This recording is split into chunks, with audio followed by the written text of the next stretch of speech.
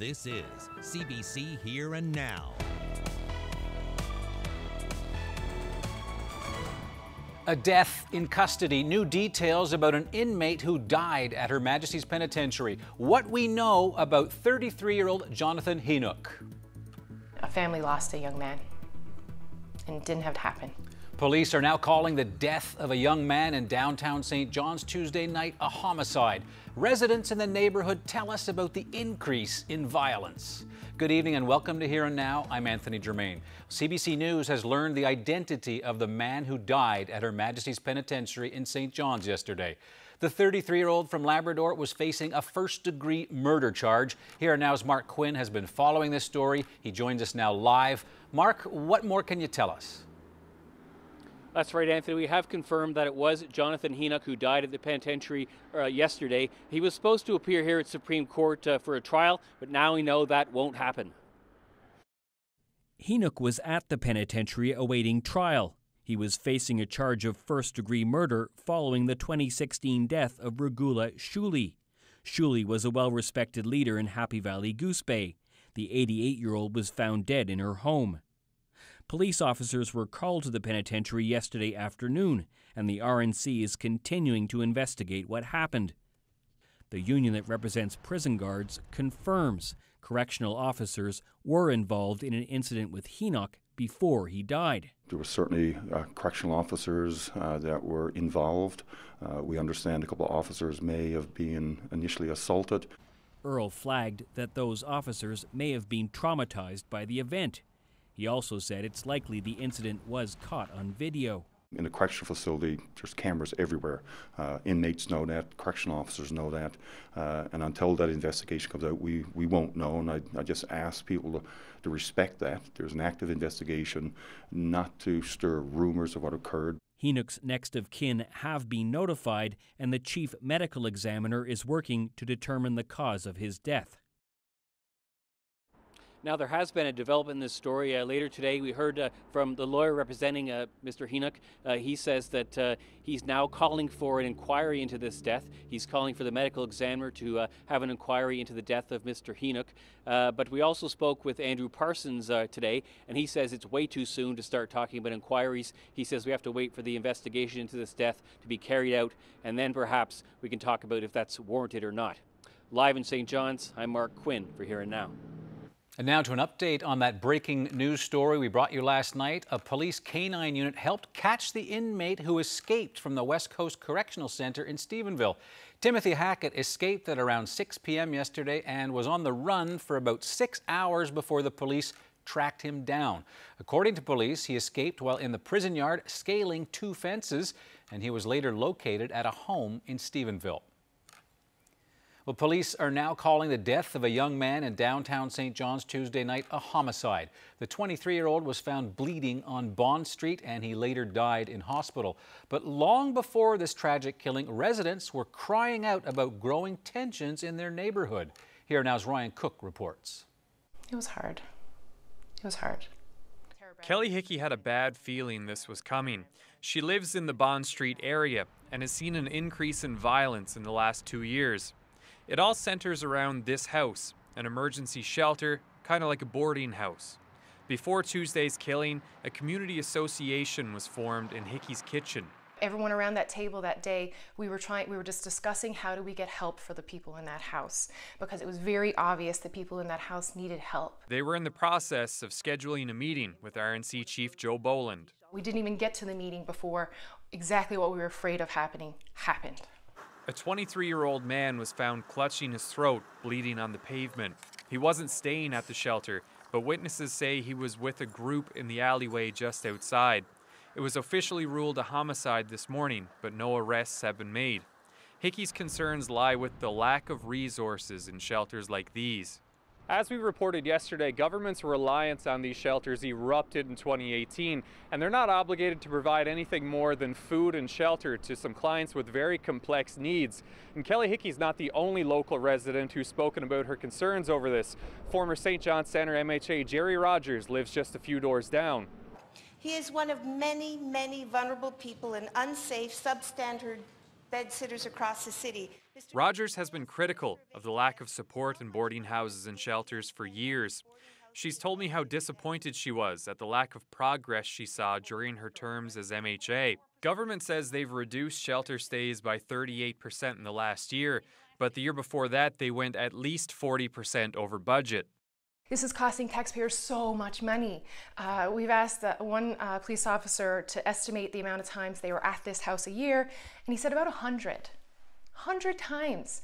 The issues that are going on in that house aren't RNC issues.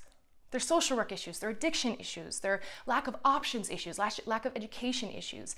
And it's not fair to RNC. Hickey wants shelter clients to know she and her neighbors are upset with the system, not with the people being sheltered, and that helping hands are all around them. And now I, I just want to help so that we don't have to go through things like that again. A family lost a young man, and it didn't have to happen. Ryan Cooke, CBC News, St. John's. Now let's make a sentence now. A hospital. For 40 years, the folks at the Association for New Canadians have been helping people who settle here from other countries, and now they are celebrating the work they've done over those last four decades. That story still to come.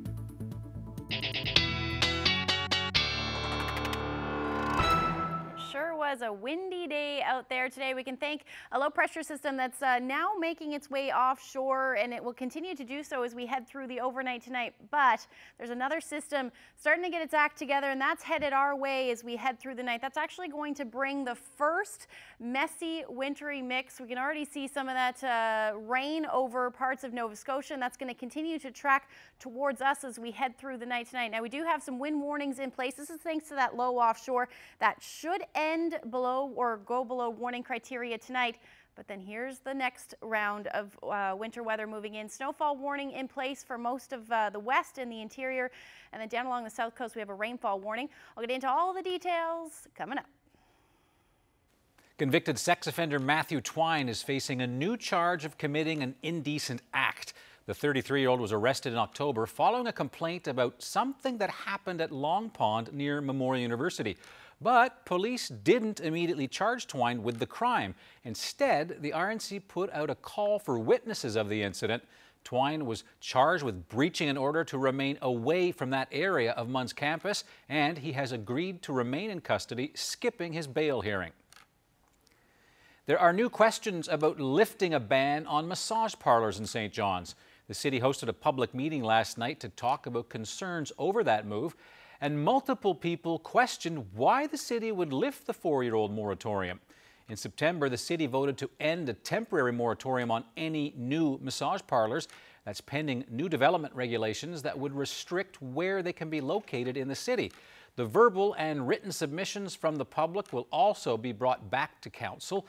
Councillor Maggie Burton pushed for the ban to be lifted, and last night she held her ground people from the community have been talking about how this moratorium, which was put in place without any consultation with the sex working community uh, and people actively involved in the sex trade on the continuum of experience, this was put in place without talking to them in the first place, and it has pushed um, the, a lot of people underground into working in unsafe environments. So that was a, a concern that I've been responding to. Well, one of the province's best known and most colorful former politicians is opening up about being diagnosed with Alzheimer's disease. John Efford says he was diagnosed two years ago. The 75 year old was a political force in both provincial and federal politics for two decades. And this afternoon, he told the CBC's Jane Adey that he hopes talking openly about Alzheimer's will help other families who are grappling with the disease. When it comes to the Alzheimer's, I know the result of Alzheimer's. I don't go around public saying what's going to happen and when is it going to happen.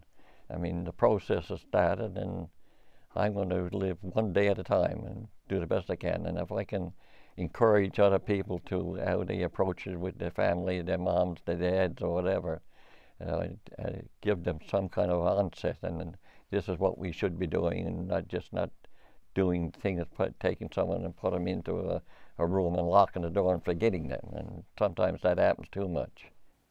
As I mentioned, the broadcast Jane Adey sat down with John Efford earlier today and talked more about his diagnosis and his decision to go public with it. Their conversation ahead in about 25 minutes on Here and Now. Well, staying with politics, Gerry Byrne is on the attack. The Fisheries and Aquaculture Minister took aim at both NDP and Conservative MHAs, accusing one of marginalizing Indigenous people and another of possibly breaking the law. All of this while the parties are supposed to be cooperating in a minority legislature. Here now, is Peter Cowan is live in our newsroom. So, Peter, what's Mr. Byrne saying? Well, the question came to him from Jim Dinn, an NDP MHA, and he was asking whether Northern Harvest Sea Farms had a plan to deal with warm water before 2.6 million salmon died. And rather than directly answering the question, instead Gerry Byrne went on the attack. Here's what he said. It is a pattern of behavior. A pattern of behavior. member to direct his comments towards the chair. A pattern of behavior of marginalization of Indigenous, and I will speak to that. I'll speak to that. So what prompted that? Well, Jim Dinn has questioned whether climate change is really behind the death of those farmed salmon, and Byrne says that's disrespecting traditional Mi'kmaq knowledge. That Byrne insists backs up that warm water claim. Byrne says it's a pattern because several years ago when Dinn was head of the Salmonid Association, a member of that group made a comment in a meeting about kowtowing to indigenous groups. Byrne insists that Dinn was in that meeting and he didn't rebuke the comments strongly enough. But Dinn insists he not only said those comments were wrong, but the person who made those comments, who was a staff member, has since been let go. So what's behind all this bombast? Well, Dinn insists this is really just a minister trying to obfuscate criticism about how he's handled the situation. Of course, this is all happening in a minority parliament where the Liberals need at least one MHA from the other side of the House to support them on all their legislative agenda, and they need some of that goodwill from the opposition. And unfortunately, Dinn says right now that, that goodwill is running out. It's at the point now where the Premier, if he wants to maintain a level of civility, a level of collaboration, a level of cooperation moving forward, then I think it's time for Minister Byrne to find another another por another portfolio, probably at the backbenches of the party, and uh, where he can do the least harm.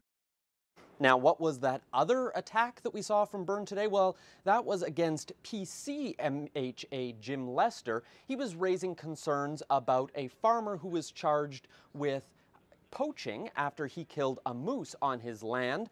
And the attack from Byrne, Byrne said that he not only believes that um, Lester was encouraging poaching, but in fact questioned whether or not he in fact had engaged in that behavior himself. Why was the moose killed? Well, it was busy eating cabbages on the farmer's land. Anthony?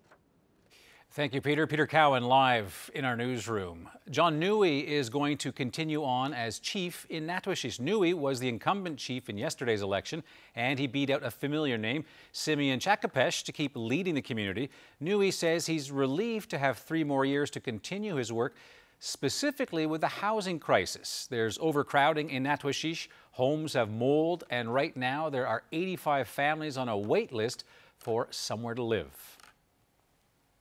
Lewisport's original town hall is getting a new life. A local businessman is taking over the building and saving some of its memorabilia. Two antique automobiles are the crown jewels of the collection. Here now's Garrett Barry shows us more.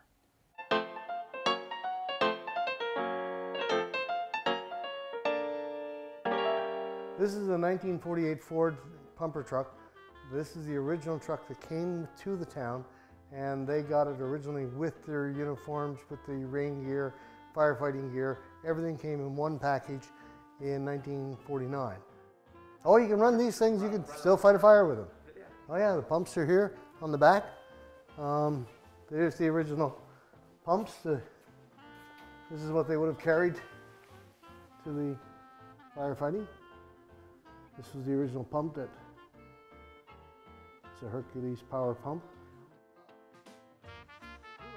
I grew up about six doors up the street here. And uh, I can remember as a child these things going back and forth. I can remember uh, Mr. Freak coming down, uh, running down to get aboard the ambulance and take it out and do it there. That was up until the mid 60s that they operated out of this fire hall. This is the original council chambers. It's a civic hall. It was it was originally, uh, you know, the original building of the town was discussed and dealt at this table, um, you know, for all those years, and to be able to keep a part of it, to be able to keep keep it together, it's a pretty neat trick. A lot of the guys that are firemen today, it was their fathers and grandfathers that were firemen here. And the, the fire department crew, I've had them here for a couple times for uh, different events, and, and they love it. They, they think it's a good thing that it's done. Too many times we tear down things that we shouldn't, and I mean, this was one case, as you saw upstairs. Uh, this is a very functional building. It can be utilized for the next 70 years as offices or uh, entertainment center. It couldn't be used for anything. Gorgeous truck with a nice soundtrack. The Edge has a new team president. Tyrone Livingston is leaving the Cape Breton Highlanders to join the St. John's basketball franchise. A new boss. The Highlanders are on a one-year hiatus from the NBL. This because of some financial problems and poor ticket sales. The 2019 season is off to a late start this year with a tip-off set for December 26th, Boxing Day. Marking 40 years of welcoming refugees, the Association of New Canadians has a big anniversary as we look back at some of the past refugee arrivals.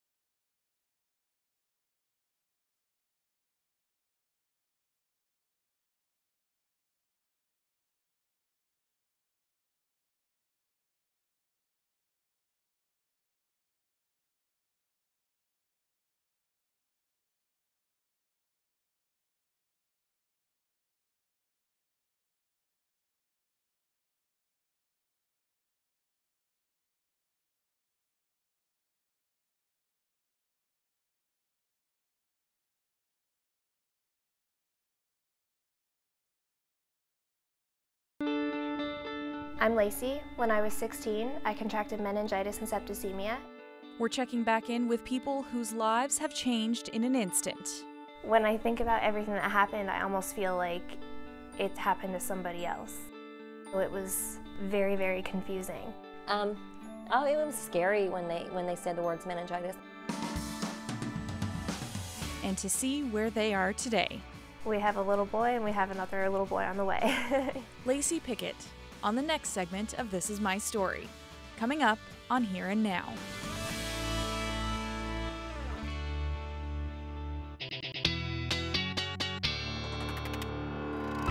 Well, before we get to the weather, Yeah, we've got a sweet video to share from you from Beachy Cove Elementary. take a look.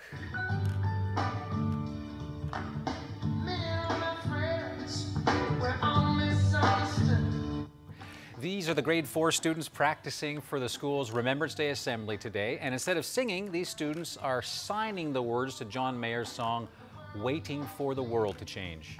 The choir director, Leanne Ryan, chose to include the American Sign Language in today's performance.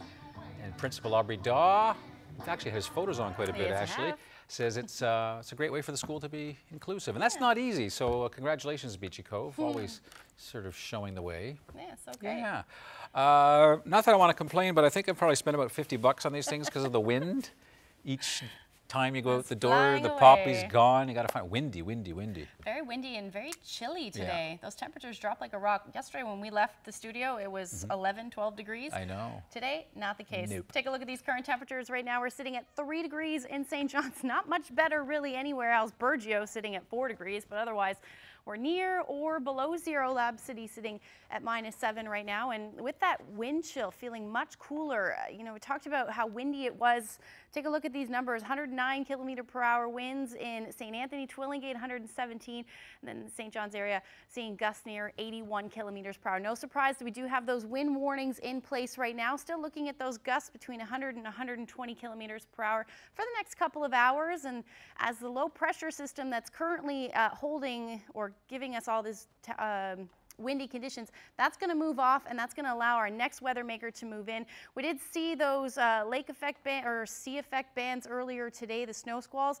They uh, will give way to the potential for some snow tonight. Uh, along the south coast, though, it does look like that will start out as rain anywhere inland or in those higher elevations, we'll see some snow tonight. We could pick up uh, anywhere from two to five centimeters of snow, and that all the way towards the early morning hours, up through even Gander, could potentially see some flurries. So here's a look at your temperatures. You can see anything essentially Gander uh, eastward looking at temperatures above zero, and anything to the west there is going to be uh, below zero tonight. Port Basque will actually see that temperature jump up to about six degrees and then drop like a rock by tomorrow morning. Otherwise, we are going to hang on to these windy conditions through the night, but again, below warning criteria. And we do have some uh, cool temperatures on the way tonight for Lab City going down to minus 14. So that next system's moving in. It is prompting some warnings. Snowfall warnings along the west coast towards the interior, including Grand Falls, Windsor, and Burgeo. But we also have a rainfall warning in effect, uh, especially along the south coast. You're looking at uh, rain between 40 to 60 millimeters of rain. And if we take a look at what's happening, it's because where that rain snow line mix or rain snow line is, it's very uh, tight gradient. So really any shift in that will determine whether you're going to see heavy rain or heavy snow tomorrow afternoon, especially around Grand Falls, Windsor. So if we take a look at just where that is, you can see it basically cuts Grand Falls, Windsor area in half where you're going to see the snow or you're going to see uh, the rain tomorrow. But really picking up anywhere from 20 to 30 centimeters of snow towards the coast, a lot less, maybe 10 to 15 uh, centimeters of snow. But there's that line I was talking about. And anywhere along that line, we could even see the risk of some uh, freezing rain with that. And then anything to the west or east is going to see rain. And this is the amount of rain that you're going to see. You can see again, this is just through tomorrow morning along the south coast. Then that spreads further north. We could pick up anywhere from 30 to 50 millimeters of rain. So those temperatures are going to be quite different as well. You can see uh, 8 to 12 degrees for the east, west. Not so much. Those temperatures are going to be hovering around the zero or one degree mark. So uh, definitely going to keep that in mind if you are planning on traveling anywhere, essentially from Gander to Grand Falls, Windsor, you're going to see a little bit, of, or you're going to see a big mix in precipitation there. And then up through Labrador, hanging on to these cooler temperatures, anywhere from Makkovik to Happy Valley Goose Bay, you could pick up between 10 to about 15 centimeters of snow tomorrow afternoon. So first wintry mix, definitely make sure you're going to take care as you're driving. Thanks, Ashley. The Association for New Canadians is celebrating its 40th anniversary. The group helps newcomers settle into the province, and as the CBC's Cease Hair reports, after 40 years, they are just as busy as ever. Now let's make a sentence now. A hospital in Mexico City.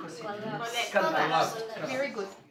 Classrooms at the Association for New Canadians ESL Training Center are full every day with over 250 adult students from around the world. Grace Okweta from Uganda is a teacher here now, but she remembers being nervous when she and her husband and two young kids landed in St. John's 26 years ago. All that anxiety was immediately kind of uh, addressed or settled at right uh, from the airport where we met a team that received us at the airport and it was a team from the Association for New Canadians. The ANC began in 1979 with the Friends of Refugees, which was formed in response to the Southeast Asian refugee crisis. Millions of people jumping on boats, fleeing their countries. Back then, in this province, refugees sometimes walked off planes in Gander, as planes bound for communist countries regularly stopped there for fuel. Sometimes the refugees would come from ships, like this group of Soviet sailors in 1990, young men with children back home.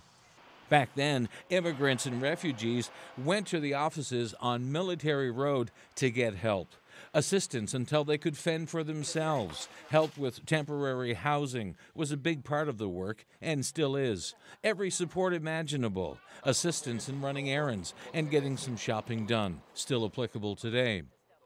Since then, the ANC has evolved, and along with settlement assistance, it offers English and employment education, supports for children, and there's a newly created social enterprise, Food Truck, which sells homemade food from around the world, offering mentorship and training so that newcomers can develop employability and entrepreneurship skills in the food service industry. We have incredible volunteers. Uh, during the Syrian resettlement in uh, 15, 16, there were just hundreds of volunteers that came out to give of their time, their financial contributions to just work with us to make people feel welcomed.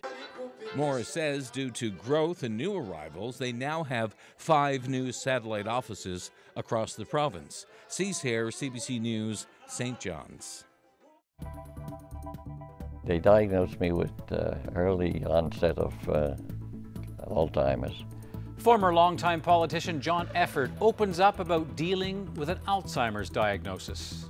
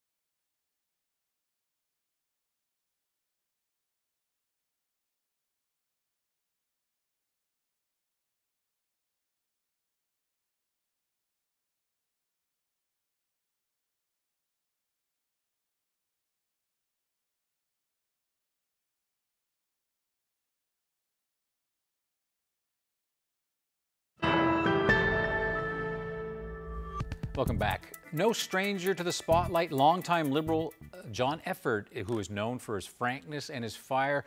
Well, now he's speaking out once again, this time about being diagnosed with Alzheimer's. That is a damn lie. And the Minister of Fisheries in Ottawa knows full well it is a damn lie. We just don't want to go in there and, and, and make things worse for her, so we're going to work very, very slow with her and not frighten her any more than she's already frightened. I single-handedly or anybody else single-handedly cannot call or stop the problem that we're facing. It's a crisis, ladies and gentlemen. Well, during his 20-plus year career, Efford was considered one of the province's most popular politicians. An MHA for his home region of Port de Grave, he later made the move to Ottawa.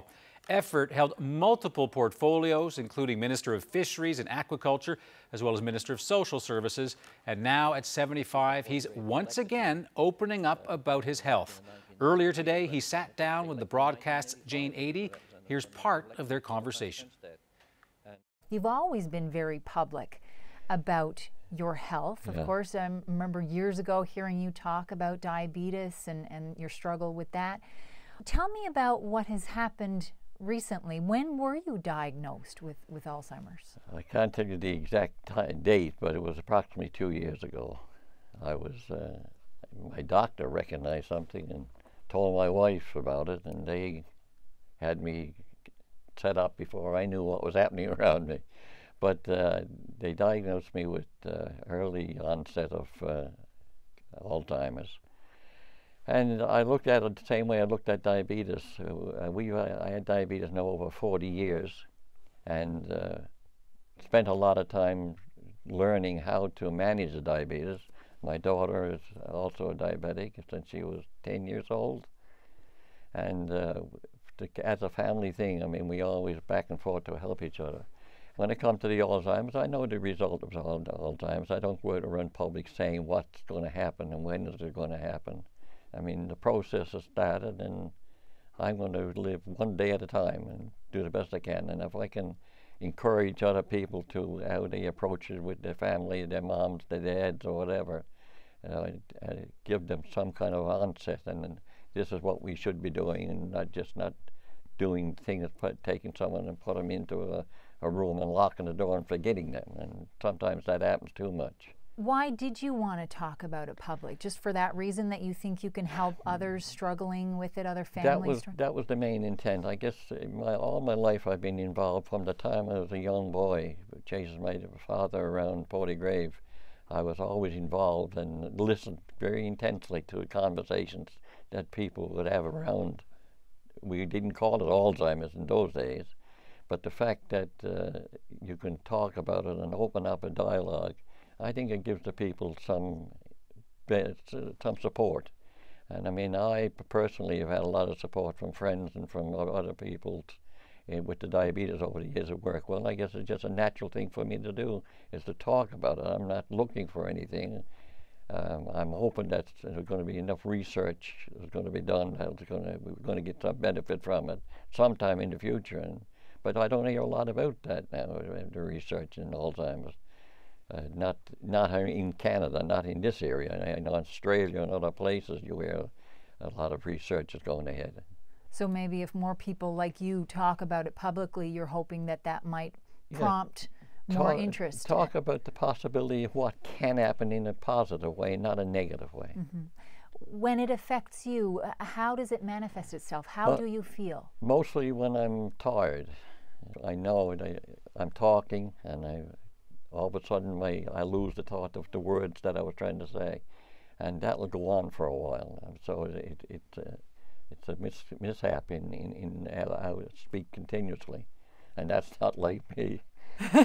but uh, it happened. I've got to deal with it now, and I'm I'm dealing with it in a positive way, that I can survive as long as it, as as long as I possibly can, and think positive about it. Because it's no good getting up every day complaining. Well, I've got Alzheimer's. What am I going to? do? I'm not going to go, go anywhere today. I'm going to be the same person. I'll always talk about things, and I'll hopefully pass some information along or gain some information from what's actually happening. It strikes me as a very generous thing for you to do to talk public about something that is probably affecting you so personally and your family and friends.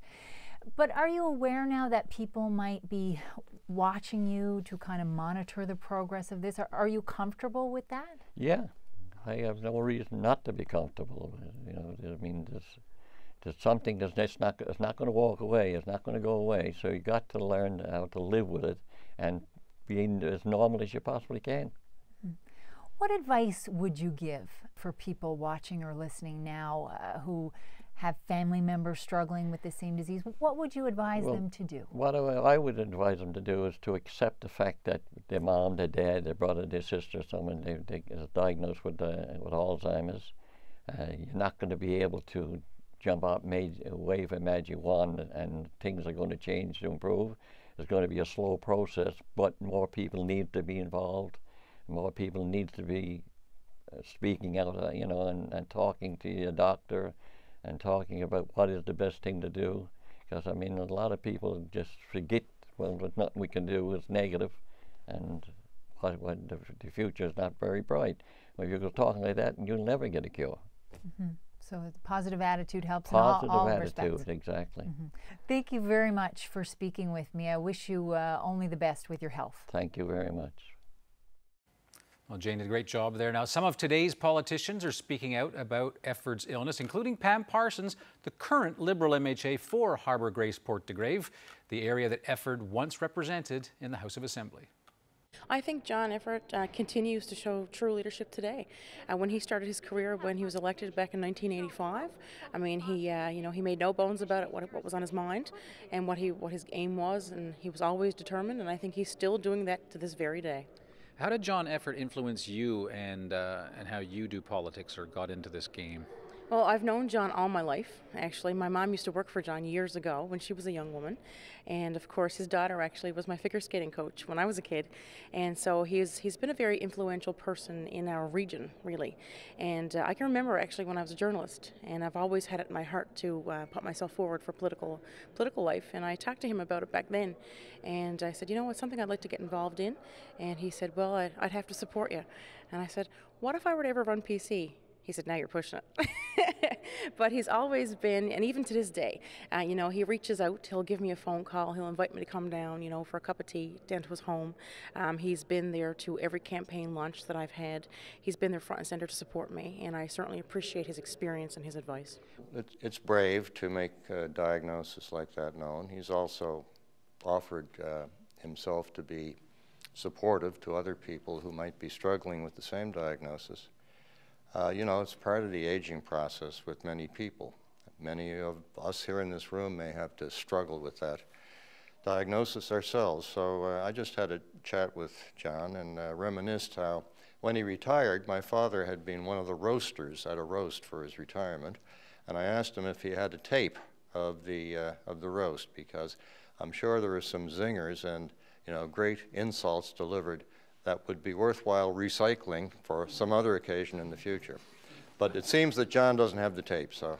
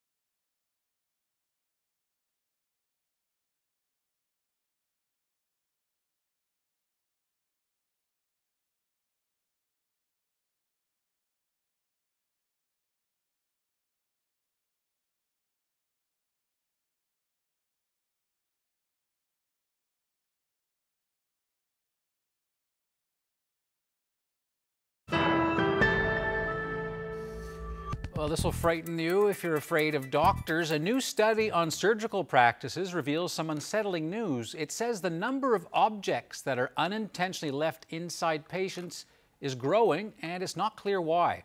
The study was conducted by the Canadian Institute for Health Information, and it says, as you can see there, 553 objects, including sponges and medical instruments, were left inside patients between 2016 and 2018 and that is actually a 14% increase over five years. That's more than twice the average rate of the 12 countries that were surveyed.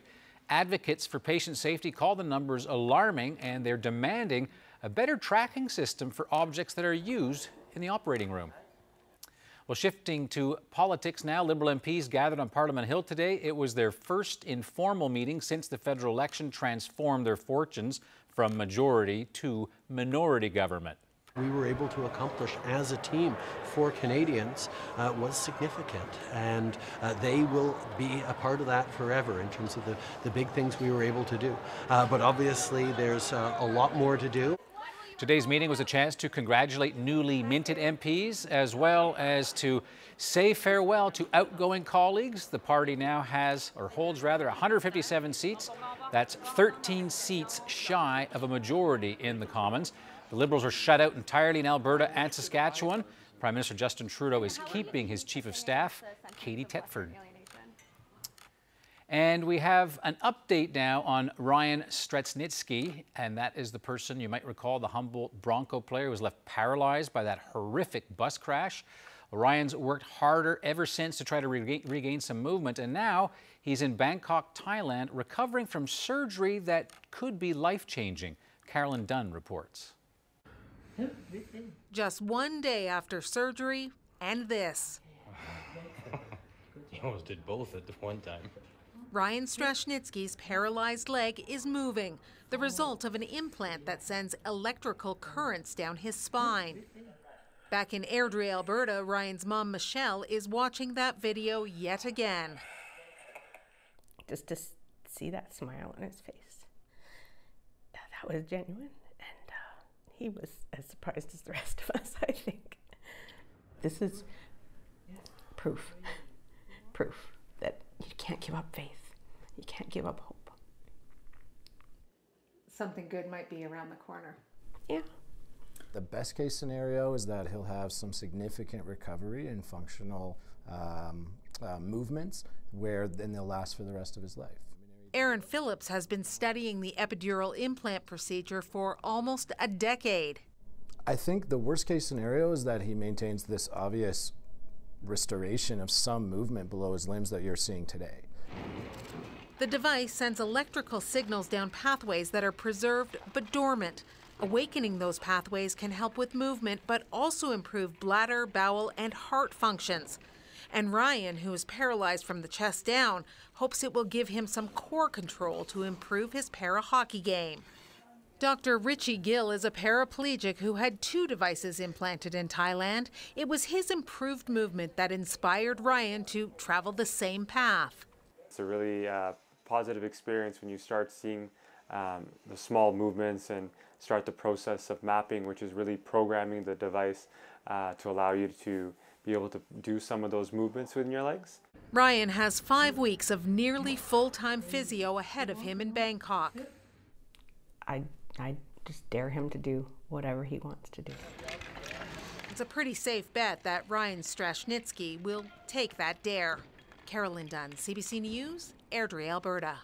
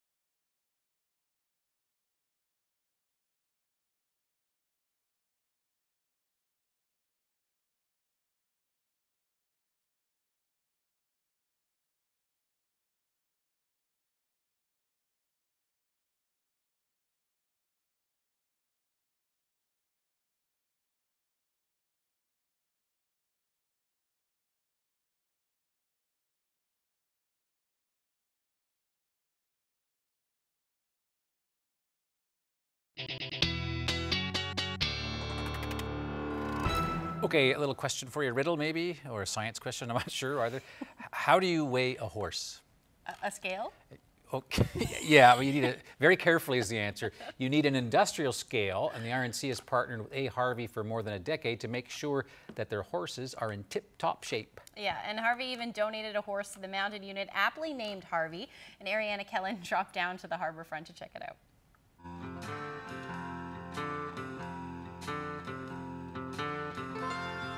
We're down to weigh a castle to see, uh, as a four-year-old horse, uh, that he's a proper weight for his age.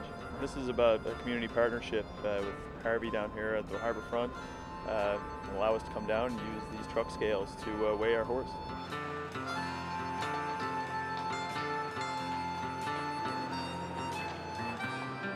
Is he at the weight he should be at? Uh, is there different care or processes that we need to consider ensuring that you know he's the proper weight health-wise, and it's just about taking care of our horses. 1,450 pounds. Is that a yeah, good weight? That's a fantastic weight for a four-year-old horse. Perfect. Good job, Castle.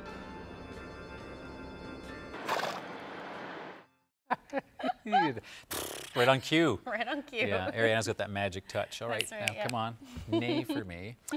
Uh, so you have a kind of uh, Neapolitan forecast for us. It does look like that, doesn't it? Yeah, I've seen what you're going to show us. Yeah. So we'll take a look. It's a little more, uh, I'd say the Neapolitan ice cream is a little bit more tasty though than what's going to happen weather-wise. It is, it is our first. remember that ice cream? I do remember that and you ice see, cream. you see your pink, all the snow and rain. That's the part nobody eats. It's definitely the part I didn't eat. Chocolate and vanilla so all let's the way. get rid of it. There you go. if we could only get rid of that for tomorrow, uh, that would be nice. But no, we are in for that first wintry mix of weather tomorrow. So if you don't have your snow tires on tonight is the time to do it. Uh, otherwise, we are looking at, uh, as I mentioned a little bit earlier, that tight gradient somewhere between Grand Falls, Windsor, and Gander, really, uh, where we're either going to see snow or rain. So definitely be prepared for that if you are traveling tomorrow. I wouldn't recommend it, but if you uh, absolutely have to be, definitely keep that in mind. So there's a look at that low pressure system. Anything to the east of that will be rain, and anything to the west of that will be snow. And then in behind that, we're going to see some cooler temperatures move in, which means we're going to see that snow move right back in, or at least flurries move right back in throughout the overnight.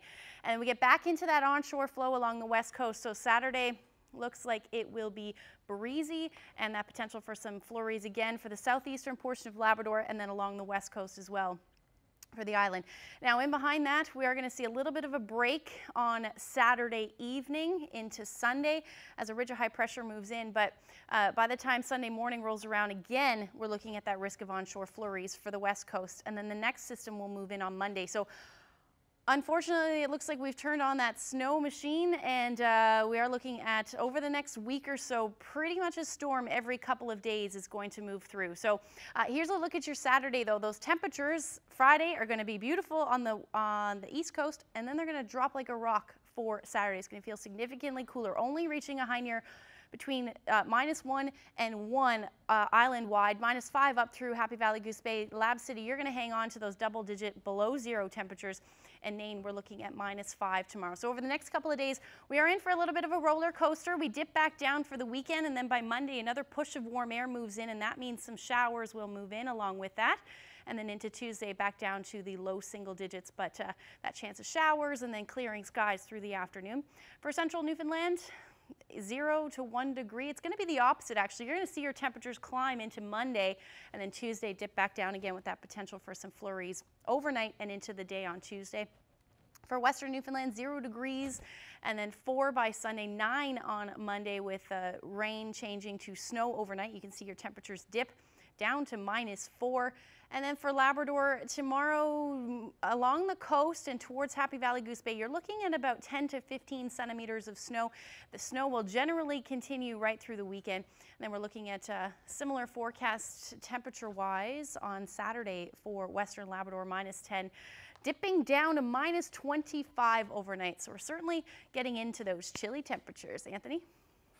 Thanks, Ashley. Kombucha is all the rage. It's fizzy, fermented, and as it turns out, maybe a little bit uh, boozy. New research in BC is finding that kombucha may contain more alcohol than advertised, and as Tina Lovgreen explains, for some, that could spell trouble. Inside this research lab, they're testing some of the trendiest health drinks in Canada. Almost 800 tubes delivered by health officials containing samples of kombucha, collected from grocery stores and farmers markets in BC. Their mission? To find out how much alcohol is in each one. Because they're not supposed to have more than a certain amount of alcohol in them. Uh, the limit in Canada is 1%. Alcohol is a natural byproduct of the fermented tea, which has been growing in popularity amongst Canadians. More brewers are popping up across the country. Some like the taste, while others believe it has probiotic benefits. It's sold, though, as a non alcoholic beverage.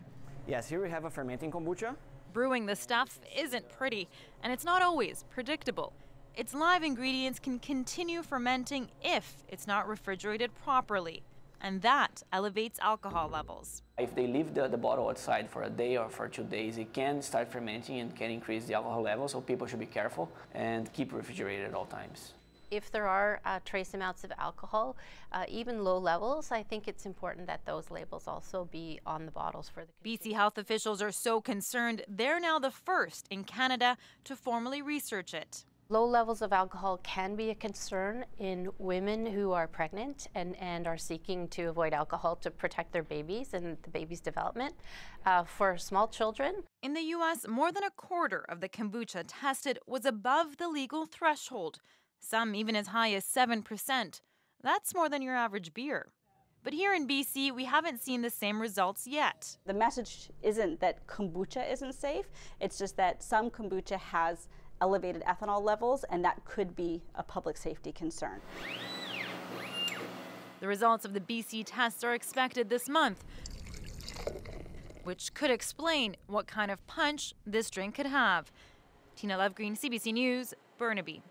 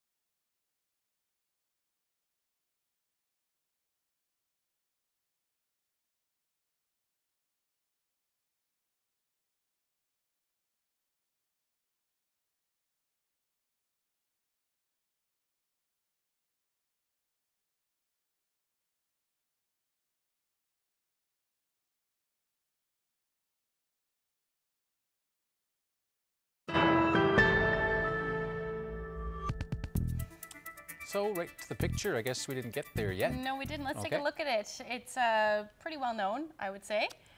Oh yeah, definitely. Everyone's gonna get this. That's Little Bella Island right there. Little what? Little Bella Island. Okay, it's in South Carolina somewhere. I don't know. yeah, that picture was taken in uh, Paradise. That's actually Topsail Beach, the Mhm. view from uh, the bluff up there, Topsail Yep. Bluff. Thank you so much to Paul Piercy for sending us that wonderful All photo kinds of, of interesting things have happened up there, Oh, I'm sure. but we'll save that for a future edition of Here and Now. Yeah, I haven't been up there yet. I wanted to get up there this summer and never did make it, get a chance to. Yes. Well, I'll tell you about what you can look forward to when the show's over. Sounds good. Gorgeous spot, of course, very popular place too. Good Yep. kayaking there too. Mm-hmm. Oh, there you go. Okay. Yeah. When the winds aren't too bad. Thanks a lot for watching. Karen's going to be here instead of me tomorrow in this job. I'll still be around, but just not right here. And I'll, I'll see you tomorrow anyway. Yeah. Yeah. Bye. Good night.